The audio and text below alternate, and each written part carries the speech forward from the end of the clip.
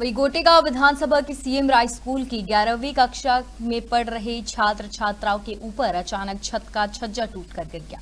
वही बताया जा रहा है कि तीन दिन से अधिक बारिश होने के चलते यह छज्जा गिर गया, जिसमें छह छात्र छात्रा घायल हुए, जिनमें से दो छात्राओं को गंभीर रूप से चोट आई है।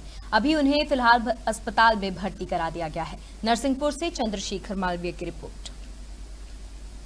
एमराई स्कूल के कुछ बच्चे भी आए थे जिसकी खबर हमें मिली थी कि जो उनकी सीलिंग वॉल है वो गिर गई थी। जो क्लास में बच्चे थे करीबन छह से सात बच्चे थे उनमें से एक जो बच्ची थी उसके हाथ में थोड़ी ज़्यादा चोट आई है तो उसको टाके लगे हैं उसके एक्सरे और सिटी स्कैन के लिए उसको जिला अस्पताल भेजा गया है और एक को सर में थोड़ी ज़्यादा चोट आई है उसको भी पट्टी वगैरह प्राथमिक सारा उपचार करके उसको सिटी स्कैन और बाकी आगे के एक्सरे वगैरह के लिए उसको जिला अस्पताल भेजा है। बाकी दो चार ऐसे बच्चे जिनको थोड़ा सा मतलब कमर में दर्द है और ऐसा कुछ दर्द वगैरह क्या मामला है?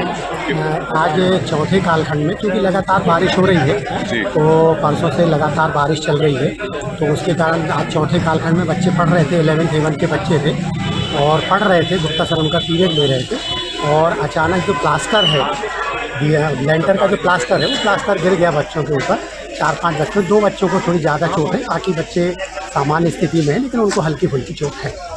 सर, एक सी एम राई स्कूल का छत गिरा है। कुछ बच्चे घायल हुए हैं। क्या है पूरी जानकारी? पूरी जानकारी जो गोपालगंज शिक्षा अधिकारी ने मुझे दी है, उसमें छत नहीं गिरी है वो। प्लास्टर गिरा हुआ है छत का, और उसमें चार बच्चियाँ थी, जिसमें दो को सामान्य चोटें आई हैं, बाकी दो यहाँ पर जाँच चल रही उनकी।